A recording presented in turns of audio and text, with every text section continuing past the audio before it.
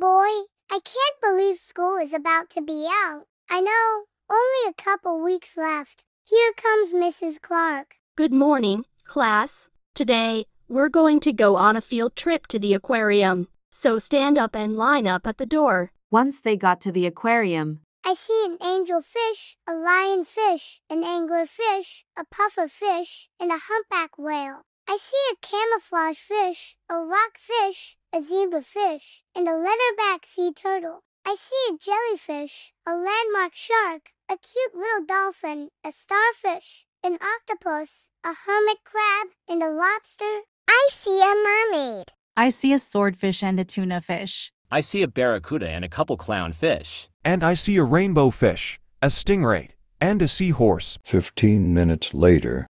Hi, kids. How was your field trip to the aquarium? It was great. We even got to be in the 4D theater in the aquarium. wow, that's amazing. Well, I hope you guys had a great field trip.